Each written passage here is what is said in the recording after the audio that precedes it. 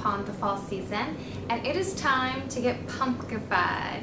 That's right, Rhonda Allison's Pumpkin Cleanser is my year-round favorite, but I figured all of you who are in the mood for a little pumpkin will really enjoy this. And a great fact to know is that pumpkin has the most natural occurring vitamin A, salicylic acid, and lactic than any other fruit. So you're getting a natural punch with this pumpkin cleanser from Rhonda Allison. It comes in two sizes, a four ounce and a one ounce size right here. I always opt for the bigger because I love it, it's a better deal.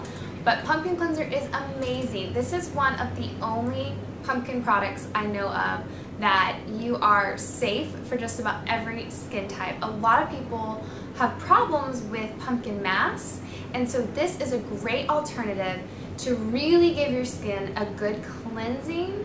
So when I'm saying like if you're congested, if you have blackheads and your skin needs a little revitalizing, then you're gonna use the pumpkin cleanser.